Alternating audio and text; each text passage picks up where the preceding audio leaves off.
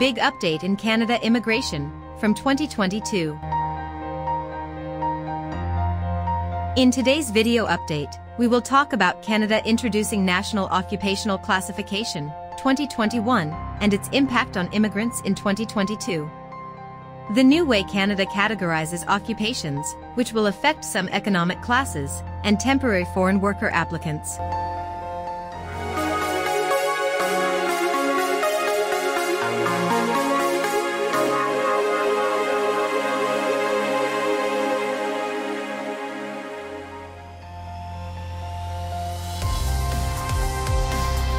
Canada's immigration system will improve the way it categorizes occupations in autumn 2022. The developments will affect some economic classes and foreign worker applicants, although the federal government has still to announce which sorts of applicants will be affected.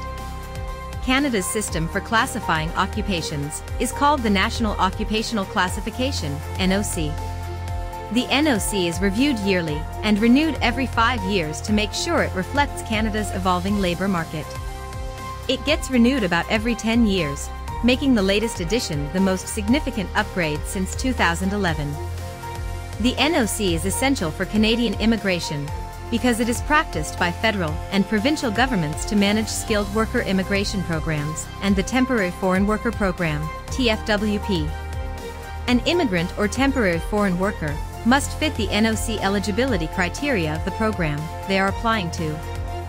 For example, under Express Entry, skilled worker immigration candidates must exhibit they have work experience in a NOC that comes under one of the following codes. NOC 0, skill type 0 jobs are normally managerial. NOC A, skill type A jobs are professional and usually need a university degree or NOCB, skill type B jobs are skilled trades occupations that normally need a college diploma or training as an apprentice.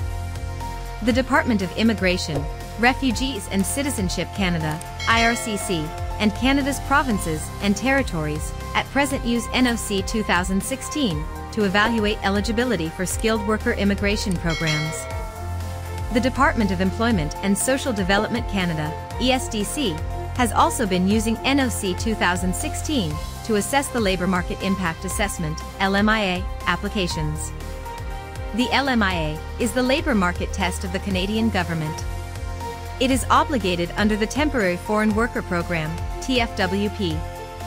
When an LMIA application is evaluated, ESDC must decide if the hiring of a foreign citizen will have either a positive or neutral impact on Canadian workers.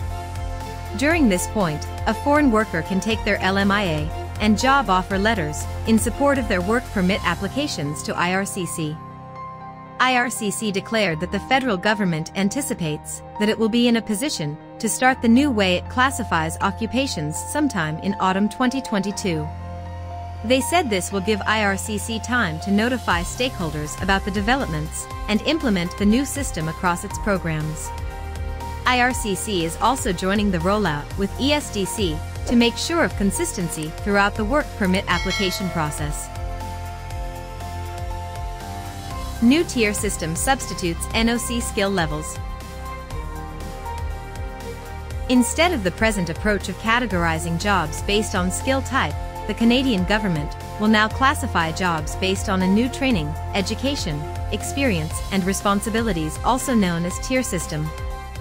Currently, NOC skill levels come under four categories, A, B, C, and D. NOC 2021 steers away from this method and introduces the TEER system with six categories, TEER category, 0, 1, 2, 3, 4, and 5. Our video ends here. Please don't forget to support us by subscribing to our channel and press the bell icon so you don't miss any updates. Thanks for watching today's video update.